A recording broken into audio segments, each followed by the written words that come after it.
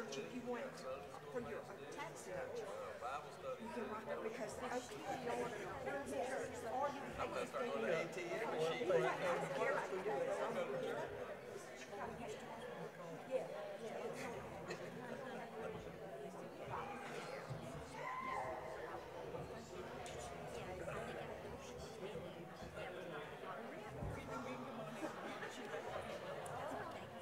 Discrimination.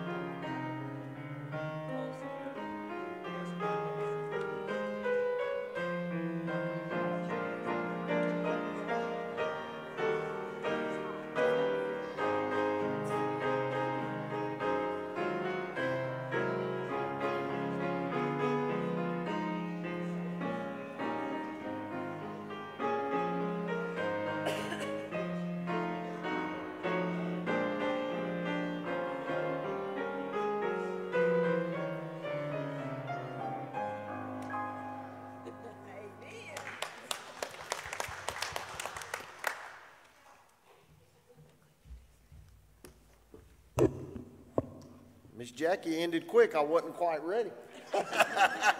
but good morning and welcome to uh, Oak Hill Baptist Church. Glad you're here.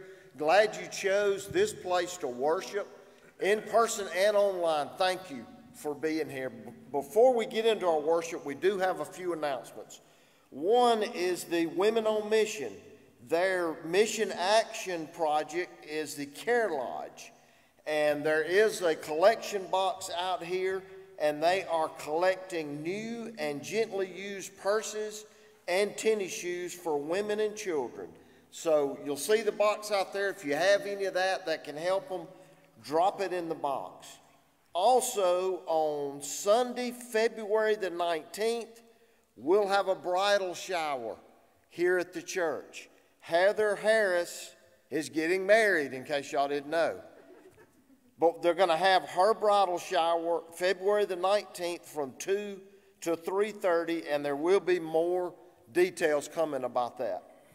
Joy Club February the 21st at 11:30. You'll be meeting then and also there's more information coming on on that meeting. That's February the 21st at 11:30. Wednesday night supper as usual. Check the bulletin board, the sign up on the sheet so that they can have a good count. Tonight we do have choir practice at 5 and all of our Bible studies, the youth and young adults, the men and the women will meet at 6 o'clock. I think the youth and young adults are meeting at someone's house, so you can see Kevin Lee if you're interested in that. But it sounds like they've got a great book that they're studying right now. But, but join one of these tonight at 6 o'clock. And I think that's it, Ms. Debbie. Thank you. I'm gonna ask y'all to stand, and this is something you need to get used to saying is, yes, Lord, yes.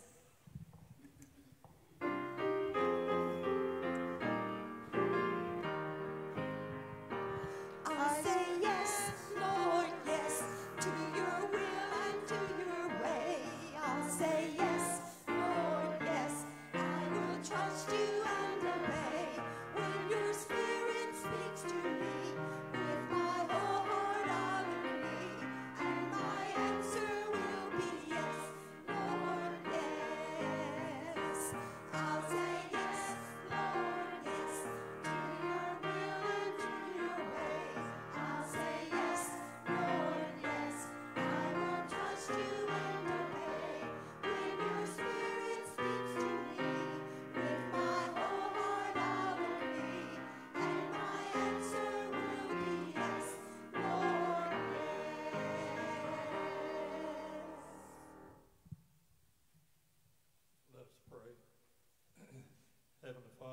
so thankful, dear Lord, once again that we can be in your house of worship. And Heavenly Father, to look out on this audience this morning and see friends, Lord, that uh, love you. And we thank you for that love that you give us every day of our lives. And one of those loves, Lord, is by being in your house and trusting in your word. Again, we thank you, Lord, for everything that has taken pl- place so far in your house.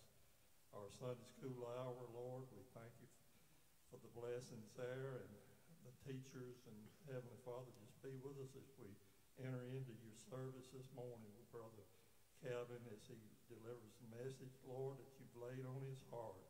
Just bless him and we give you all the glory for it. Again, we thank you for Jesus, for we ask in his precious name. Amen. Amen. Let's continue to worship by singing, Open My Eyes That I May See.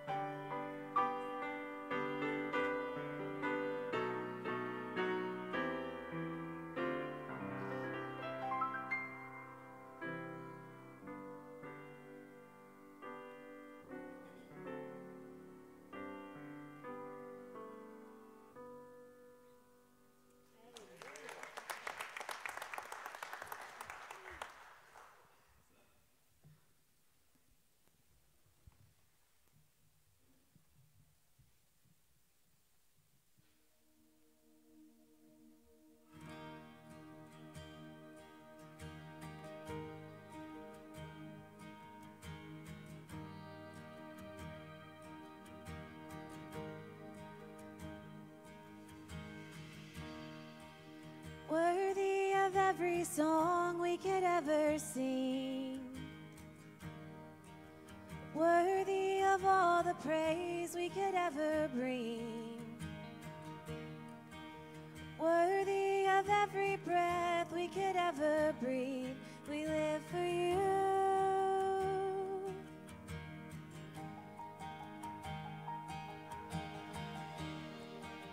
Jesus, the name above every other name. Jesus, the only one who could ever save. Worthy of every breath we could ever breathe, we live for you.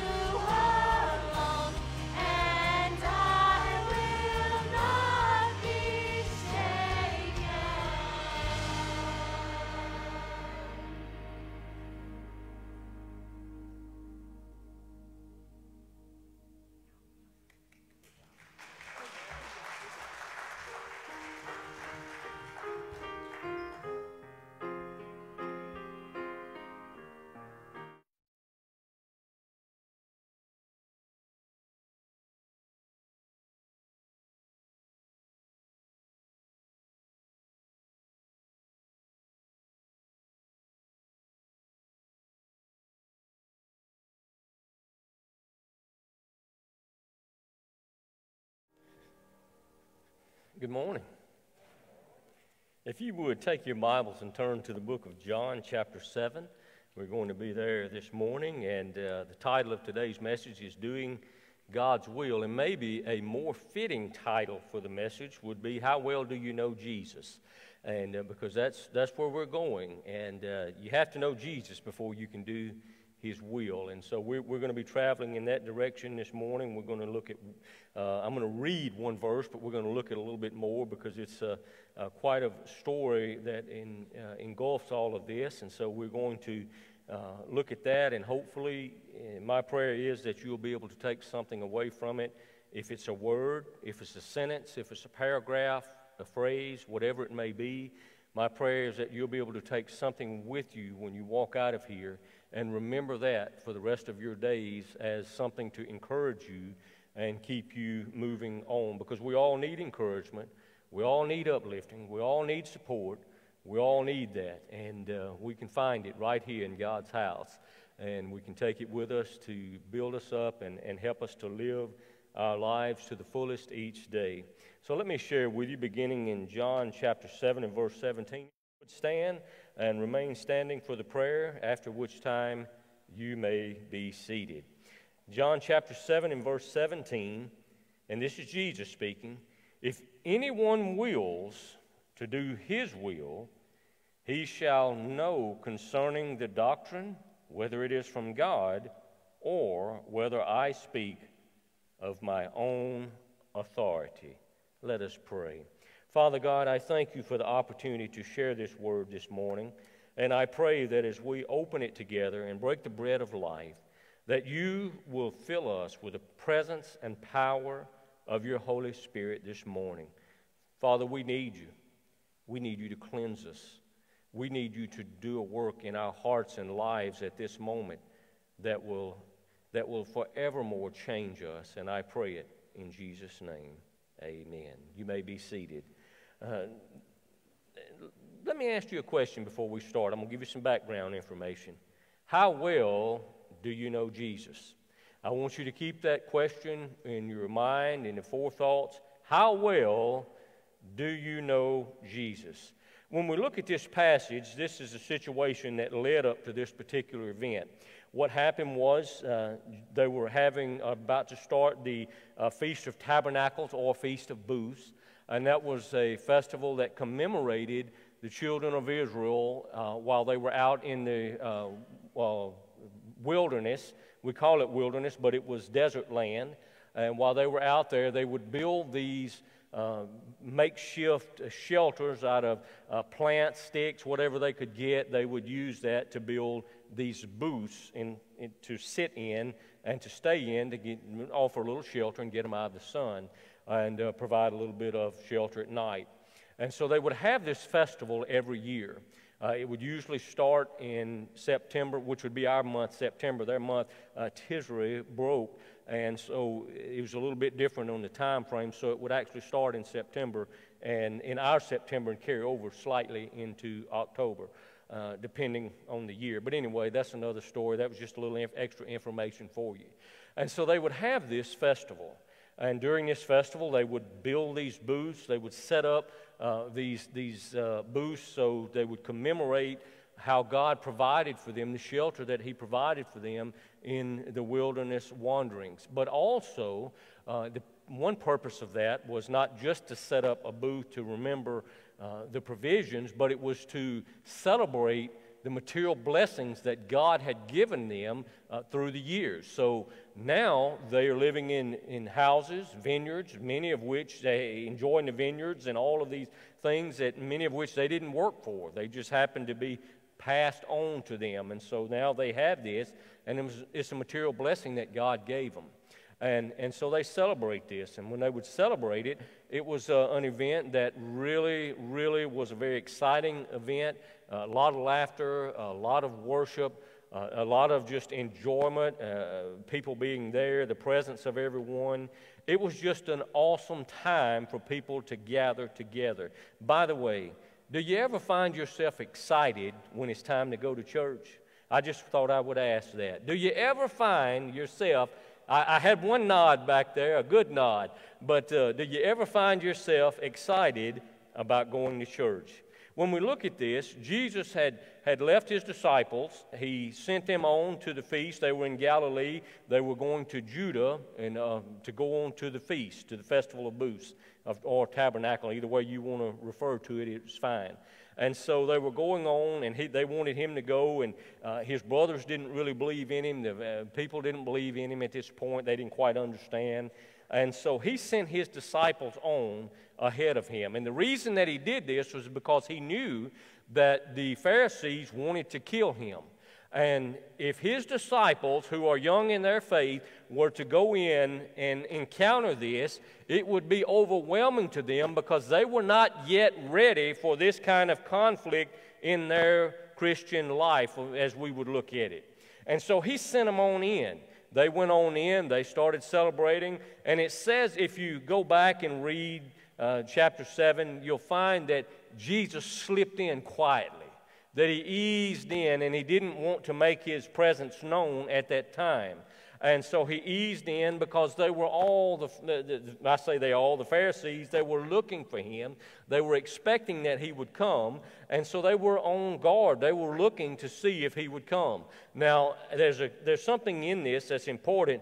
They knew what his appearance looked like, but they really didn't know anything about him.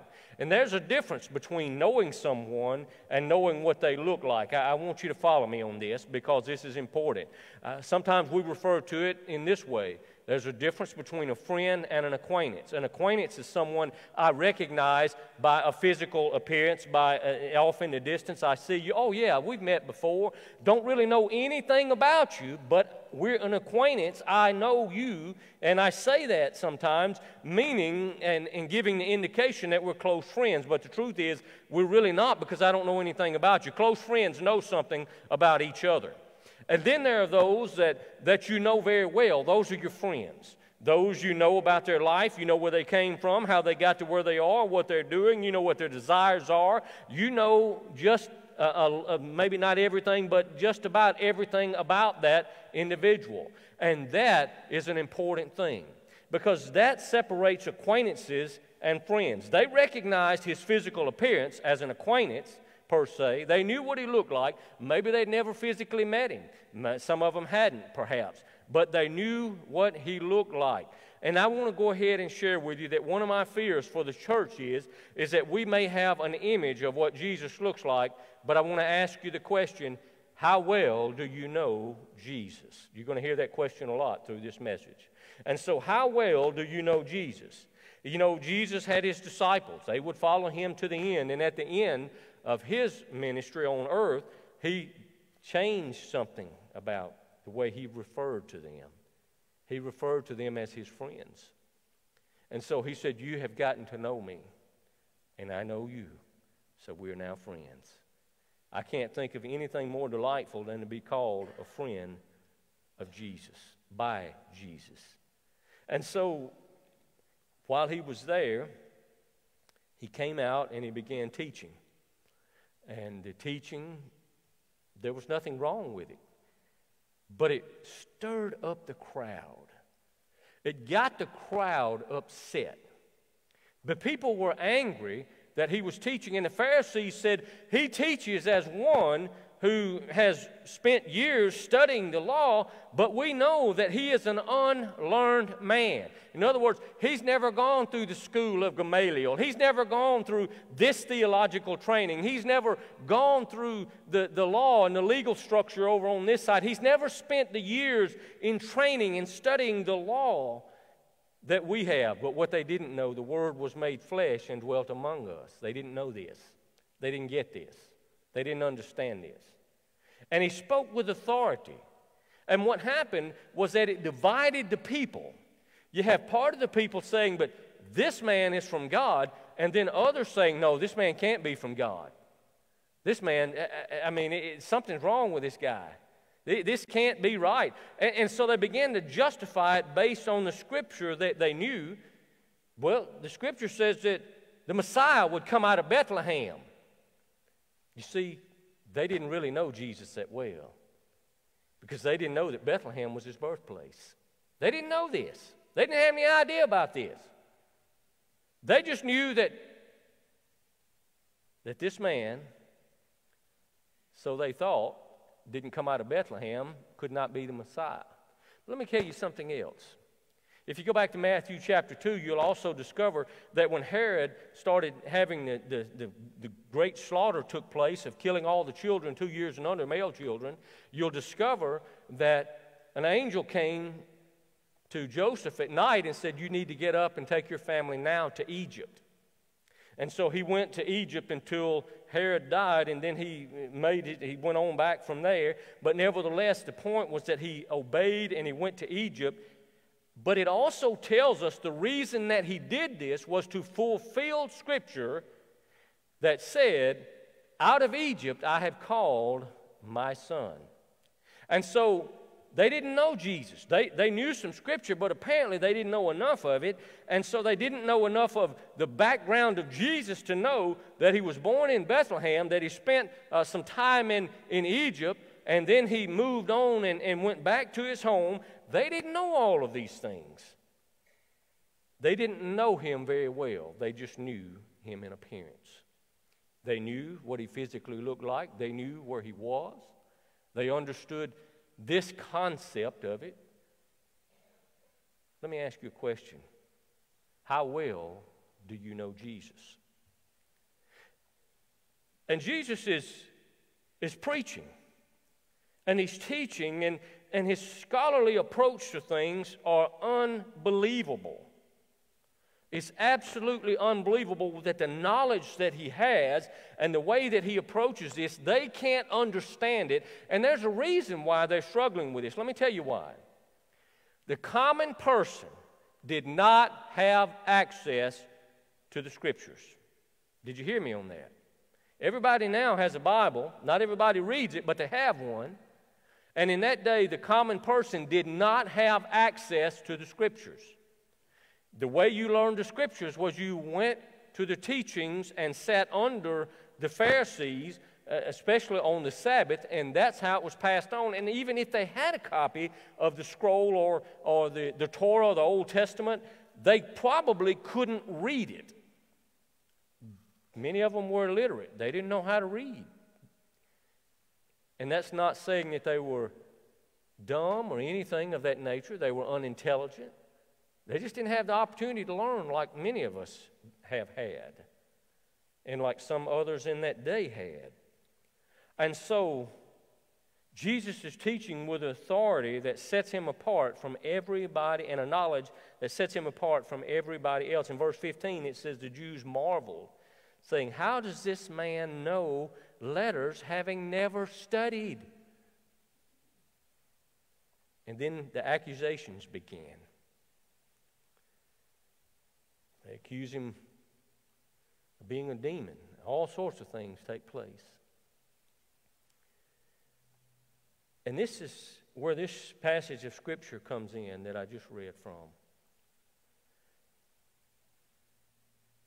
When we don't understand something, we typically rebel against it. And they're rebelling against Jesus. They're, they're rebelling against him because they don't understand it. He questions them and he said, You know, basically, what have I taught that contradicts the scripture? You know the law.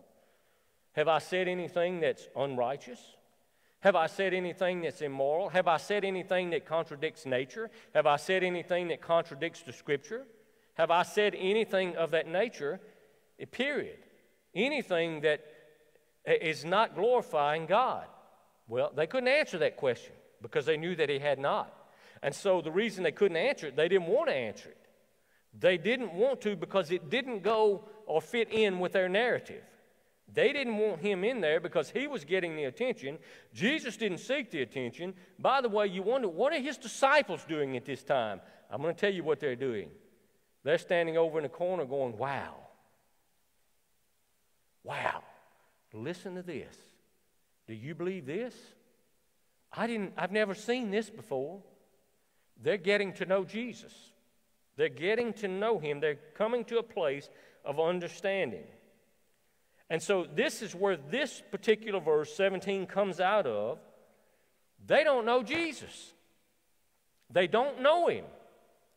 They don't understand.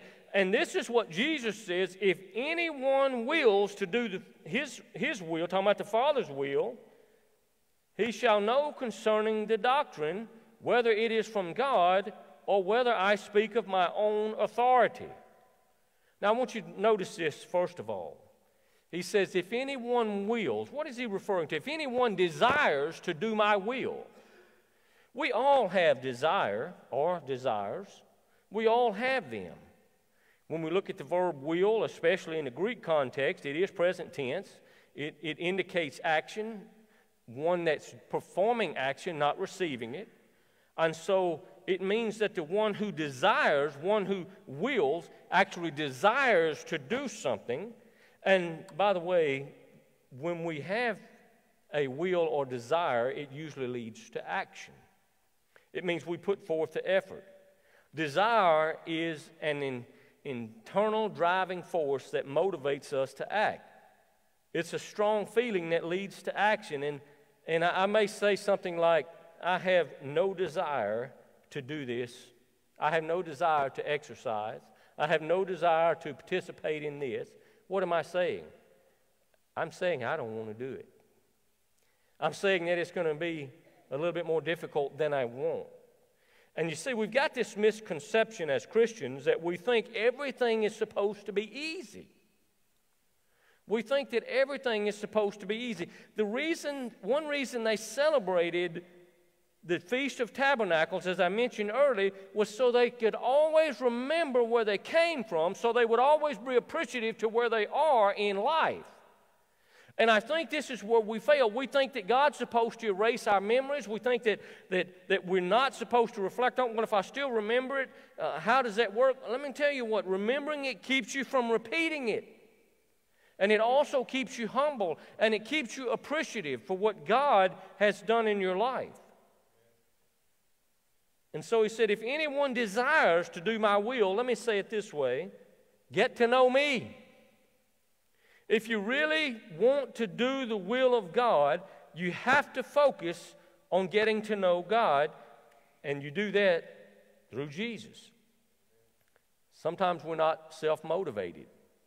I remember when I, I started seminary originally, uh, they didn't offer any kind of uh, what they call hybrid or online classes. I never took a full online class in seminary, but I did take hybrid classes where you you just went once a month and the rest you did online and you had daily stuff that you had to do. And that was absolutely wonderful that I had that experience. But I remember that uh, in, in, the first, I was in the first hybrid class that they offered on campus in New Orleans, the first one. And the professor said, if you're not a self motivated person, you need to get up now and go withdraw from this class because you're not going to make it. In other words, you've got to do the work. No one's going to call you, no one's going to hold your hand, no one's going to message you and say, Oh, are you doing your work? No one's going to do this. This is not high school anymore. And uh, uh the guys, many of them began to grumble. Well, I, I like, I, I like in person classes. Well, that's great. But I was a busy man. And I like having the opportunity to live in the ministry field and do what I was already doing, pastoring, and still do this at night and not have to be in class all day. I preferred that. But I was also self motivated. Sometimes we refer to it as a self starter. Jesus said, If anyone wants to get to know me, Basically, you're going to have to put some effort into this, and that's what he's saying. If there's a desire, you've got to act on it, and it's probably not going to be easy, it's going to be difficult. If anyone wants to know Christ, you're going to have to work at it to get to know him. There's two things that's mentioned here our will and his will. He has a will in place, his desire in place, his law in place, his New Testament in place, his Old Testament. All of this is laid out for us, and we have to seek it out to know it. You'll never remember Scripture that you've not first committed to memory. You'll never know things that you have not first taken in. And so he he says, if anyone desires to do this, you got to be willing to pay the price to get there. It's a mental state and a lot of effort.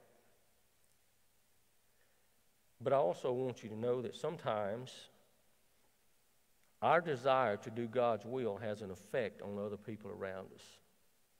Let me give you an example of that. There were days when my wife and I, we walked, well, we did walk a lot up until recently. What happens when life happens, I'll say it that way. And there would be days I'm like, I don't want to do this. I don't want to do it because I know that my side's going to hurt. I know that my legs are going to cramp. I know that I'm going to be short winded. I know that, forgive me, but I'm going to perspire. I'll say it appropriately. I know this, and I don't want to do it. And, and this is what happens. I'm going to tell you what happens. I'm sitting there thinking, maybe she won't say anything today. Maybe she forgot, she's forgotten that we're going to exercise this afternoon, and I am not going to remind her of this, okay? I want you to know this. I'm not saying anything to her. I don't want to do this today. And so we sit there, and it's like really awkward. You know, you're like, you, don't want to just look at her, but you cut your eyes over at her, and you know she's looking at you, and she said, Well, it's time for us to go. And I'm like, oh, man. you just nearly melt right in front of her.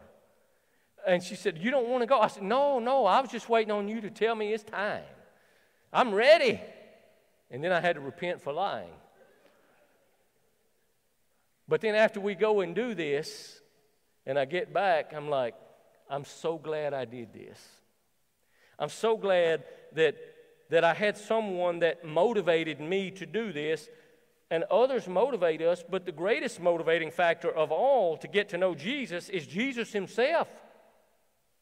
We need to get to know Him. Let me tell you, friends, we need to get to know Jesus in life just so we have the strength to live in this world. This world is cruel, this world is unfair, this world is downright hateful. And we need Jesus in our life.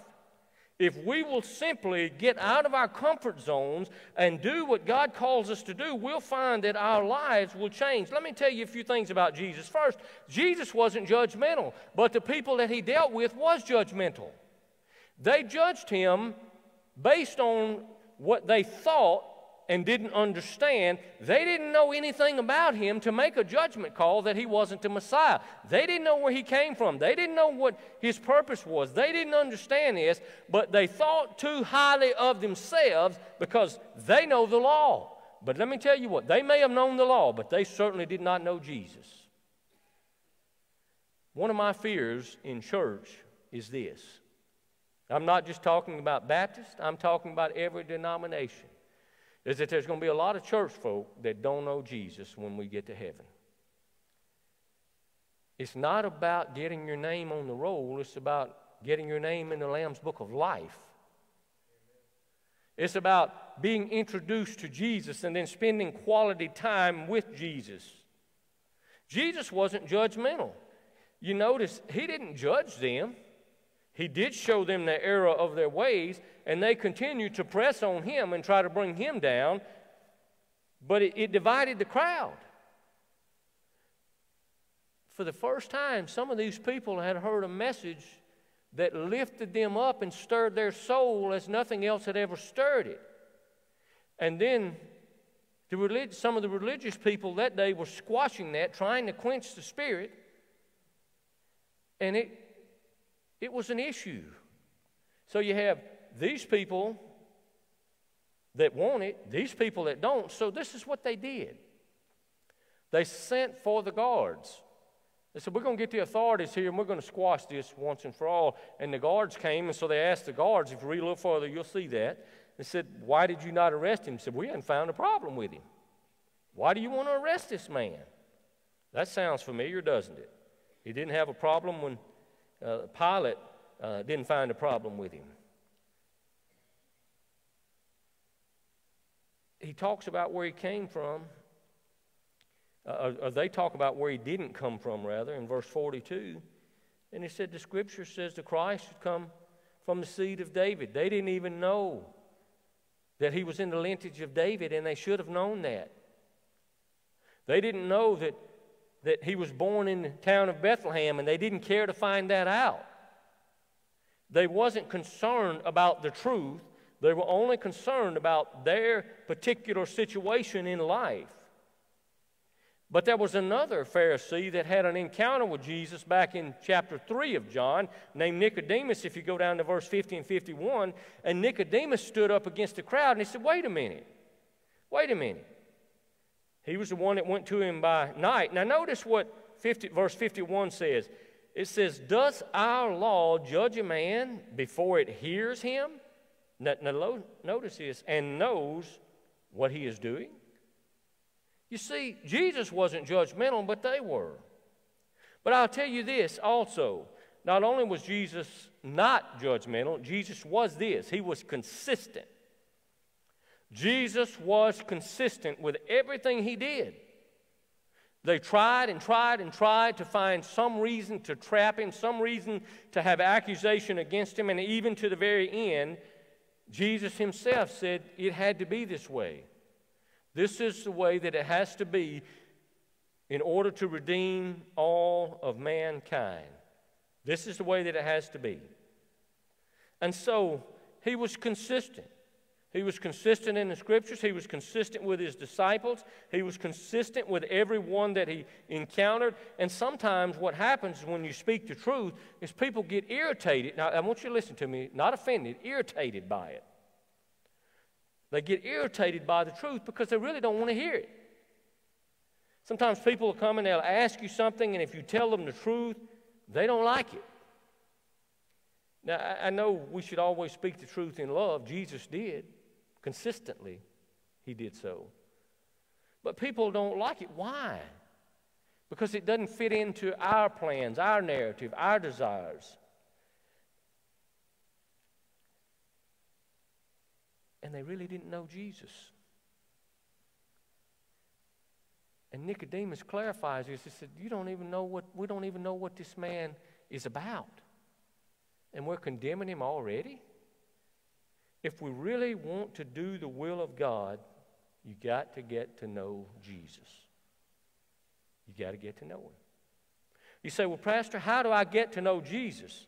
You have to get in His Word, get on your knees, and seek his guidance through His Word and the power of the Holy Spirit. Jesus was consistent. Jesus spent a lot of time on his knees. He spent a lot of time in prayer. He spent a lot of time being built up and receiving the power that only God could give him to accomplish his will. But I want you to notice this the third thing Jesus was concerned. Why did Jesus do these things? He didn't do it for himself. And I want to tell you, he died for those Pharisees just like he died for you and me. He died for the ones that condemned him. Even though I wasn't standing there that day, I was part of that crowd. My sins are what nailed him to the cross. My sins, you see, I'm just a sinner. I'm just a sinner saved by grace. That's all I am. You said, but you're a preacher. Yes, I'm a preacher and I'm a sinner saved by grace. That's all I am. We are all sinners, and we have to acknowledge that, and we have to find out that Jesus is willing to give forgiveness because he was concerned about not only our salvation, but he's concerned about the way we live our lives. He wants us to experience the simple pleasures of Christianity. Someone passed this on to me some time ago. It was a devotion and it was a story. I'm not going to give you the whole story, but just a gist of it about a uh, gentleman that was new to our country, and they took him to a bookstore, and they had all these books about the secrets of Christianity. From one, one uh, aisle to another, the secret of Christianity, the secret of prayer, the secret of this, and on and on and on. And so the person that was an American asked him, What do you think? And he said, Well, I, I think it's confusing. I think it's confusing that there's so we make it sound like Christianity is not accessible. And I'm not wording it exactly the way this, this gentleman did. But we make it sound like we have to discover certain secrets in order to be a Christian. Let me tell you, friends, Jesus is so concerned about you, there's no secret. He made it public what he was about. He was about your soul, about my soul. He was about our eternity. And not only that, He didn't just save us and then divorce Himself from our lives and separate Himself. That's not what He did. He saved us and He gets involved in our lives, and therefore we find the power to face each day. You find the power when you hear that diagnosis from the doctor to move on to another day. You find the strength, maybe if you're, you're facing a hard financial crunch, to move on to the next situation. You're finding the strength if you're going through a hard relationship to, to simply pick up and move on. You're finding strength if you're in a place in this world where you don't know what's next for you, but you're not, you're not where you're supposed to be, and you know this, and you're kind of in between, and you're trying to discover what God has for you. Let me tell you, there's no secret to this. God is the one that reveals it to you. There's no secret. There's no secret to prayer, you just do it. There's no secret to service, you just do it. There's no secret to loving, you just do it. And you say, well, what about the definition? The definition of these things are one thing. By the way, the textbook definition of these things are not always accurate. They give you the gist. Let me, let me give you an example. When you love someone, You'll go the extra mile to make them comfortable and do what you can for them. Are you ready? Without complaining, without grumbling. You'll do what's necessary. You'll simply do it because you care about them and you want to make their life easier. You know what I remember from my childhood? I remember it so vividly. I really do. And it sounds a little bit crazy, but yet it's an extremely powerful thing to me in my life, and I reflect on it quite a bit. How many of you know what coffee creamery is? Raise your hand. If you know what coffee creamery is, stick your hand up. Okay. We all know what coffee creamery is. Okay.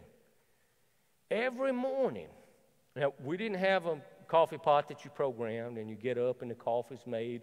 We didn't have coffee pods that you put in and uh, in your Keurig and shut the lid and you got coffee. It didn't, didn't work that way. Every morning, my dad would get up and he would start a fire or rekindle the fire in the wood heater.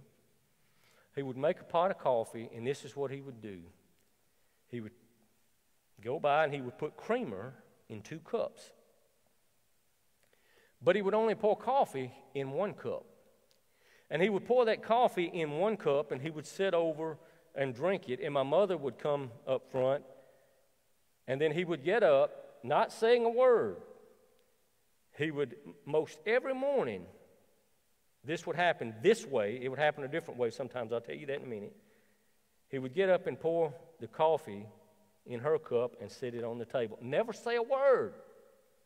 Now, the mornings that it didn't happen like that, this is what happened. Daddy was usually doing something with the heater, and Mama always knew that her creamer was in the cup.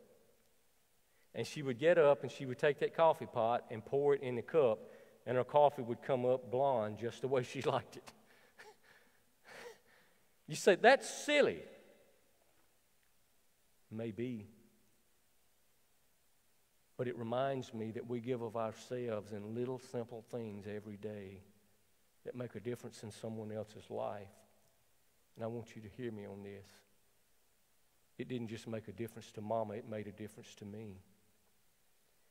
Because I saw an act of love that sought nothing in return, an act of love that never even mentioned doing this. And I have thought about this countless times. You see, when you love someone, you do things that's not required of you. You do them because you love that person. And when Jesus came to this world, he was concerned, and what led him to do what he did was his love for you and me. The only thing he wanted in return is you. He wants your love in return. He was concerned. When he went to the Feast of Tabernacles, when he went to Judea, it says in verse 1 that they all sought to kill him. The Jews sought to kill him, that is. He knew this. He simply went in and offered hope to those that were willing to accept it, offer help to those that wanted it. And his disciples was not ready for this at this time. But the last thing I want to share with you is that Jesus was calculated, he was orderly. He never did anything that didn't have an ulterior motive. Now, when we use the word ulterior motive, we usually don't associate that with anything good. But everything that Jesus did was good. So when I say ulterior motive with Jesus, it was good. Have you ever wondered how you got to this place in life? Have you ever wondered how, why I'm here? Let me tell you, Jesus may have had something to do with that. It's highly probable that he did. Maybe you stop and you look and you wonder and you think about different things and, and, and uh, it just happens. It, it just happens. Well, no, it doesn't just happen. You see, there was an ulterior motive long before you knew anything about it that got you to a place where God could use you and make you usable for other people. He was calculated. You see, if we know God, we will know His general will and his general will is to live justly and to do right. That's his general will. We will know that. We will have a conscience and, and we, we will have that, that inner sense of right and wrong. And, and today, in our time, friends, people have lost all sense of judgment. We, we just don't know anymore. And, and, and uh, let me tell you the truth, I'm not buying it, but we don't know anymore. That's our excuse anyway. We're trying to redefine what is right and what is wrong. We're glorifying criminals and we're, we're trying to vilify uh, the people who are trying to, to lead our country in a right way.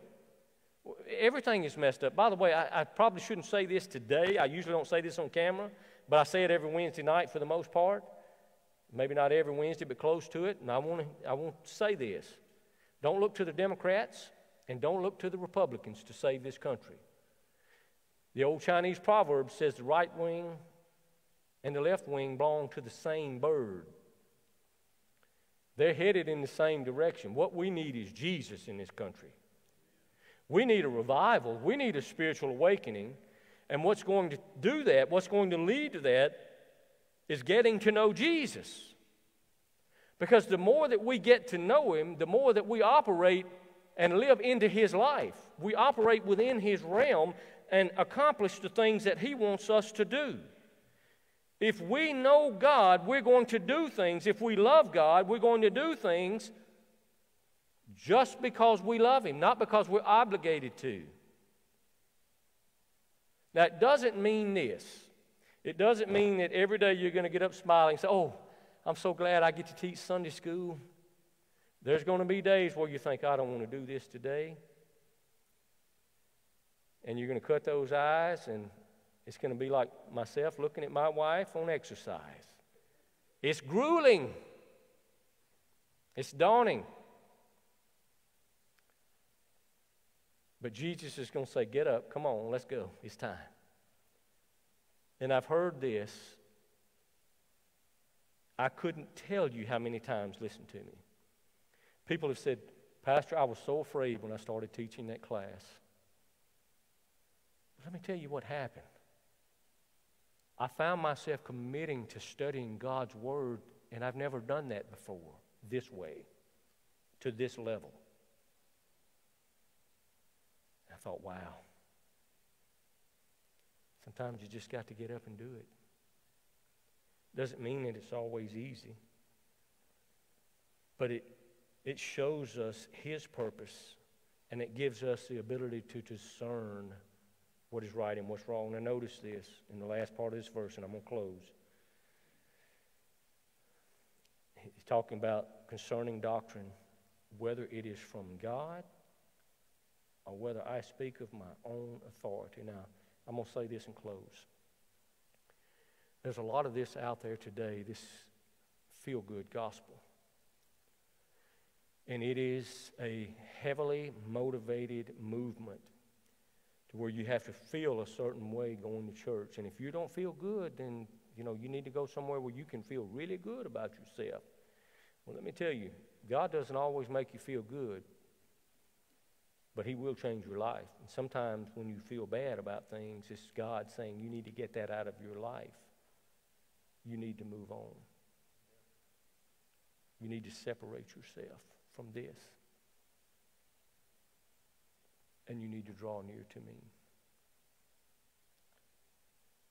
Let me ask you a question. How well do you know Jesus?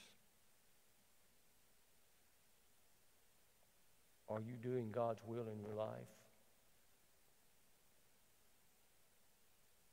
Are you? Would you pray with me? Father, I want to thank you for the opportunity to share this word today, and I realize that there's so many people that could have said so much more, so much more meaningful, more profound. But you chose me to be here today, and you chose me to give this passage. And Father, I pray today that we will make an effort to act out on that desire, that you will kindle that desire within us to get up and put forth the effort needed to do what we must do. We all know how hard it is, Lord, sometimes to get motivated and started. And sometimes we think it was easy for you, but we know that it wasn't, and all we have to do is reflect back to the Garden of Gethsemane on the eve of your crucifixion. All we have to do is reflect back and think about the struggle you had in the garden when you went to your knees and sweat drops of blood because of your concern. I know that life is hard, and it's even harder for us to accept that sometimes. Father, today, if there's a single person out here that's lost, I pray for their salvation. If there's anyone listening by the internet, I pray for their salvation, that they will receive you as their Lord and Savior. If there's anyone out here that's in, in this place where they're like, I'm, I'm not sure I'm where I need to be, then I pray that you show them where they need to be and then give them the desire to strive to get there. Father, we pray for you to kindle a fire in our hearts today that can never be quenched. Father, we love you. And we pray in Jesus' name. Amen. Would you stand with me? And as you stand today, if, if you need Jesus as your Lord and Savior, I want to invite you to come to Him. If you're looking for a church home, I want to invite you to come if you feel the Holy Spirit leading you in that direction. If you need to come and pray for yourself, for others, whatever it may be, or if you want to come and pray for the church, then I want to encourage you to do just that. But as we enter into this time of invitation, I'd like to ask you, how well do you know Jesus? As the music starts, come as you need to come.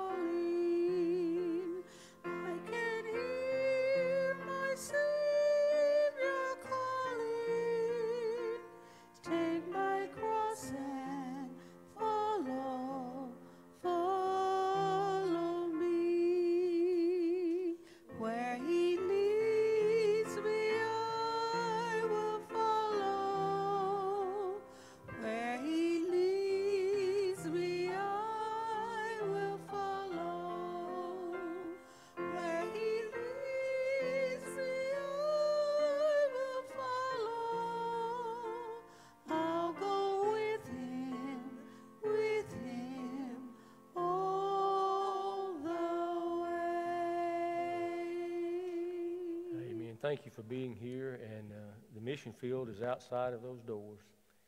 Go out there and let someone love of Jesus in your life show the world that Jesus is real. He's got to be real to you first.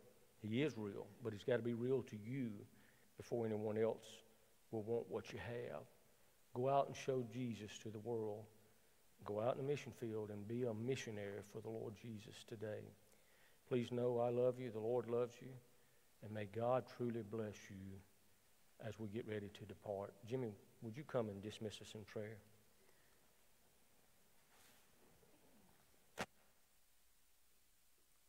Almighty Heavenly Father, we thank you, Lord, for being in your house of worship this morning, learning of faith and trust in Sunday school, singing praises to honor our Lord Jesus Christ. We thank you, Lord, for this message that Dr. Calvin has brought to our ears this morning, reminding us about your holy word, encouraging us to read your word daily and apply it to our daily living.